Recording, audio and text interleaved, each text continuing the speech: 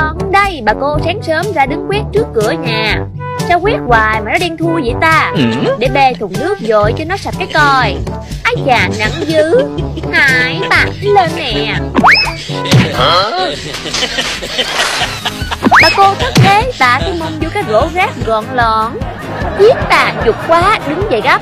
Ủa sao gỡ không ra vậy nè? Em trai ơi tuy hơi nhục nhưng mà cứu chị với Chứ chị bị kẹt luôn rồi Ok, đợi một chút nhà bao việc.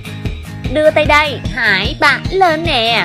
Thôi, để tôi ẩm bà thử con sao Ơn dời lên rồi. May có tôi, chứ không có thằng gom rác nó gom bà đi luôn quá.